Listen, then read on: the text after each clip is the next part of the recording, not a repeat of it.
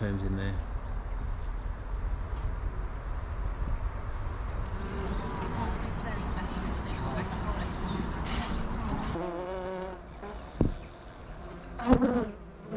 So he's, he's so he has they have such a vast amount of land in Dutch I wonder if they do forms of surveying there. The fact is that it's survived over a long period of time in its native environment. That that's what's critical.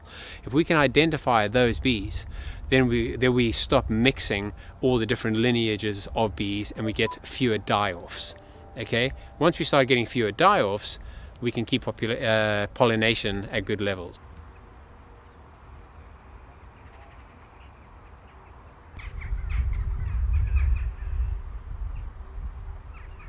Okay, so there's a nest over there. There's a bee going in. Anybody see that? There- there's another one coming in there. there. Yeah.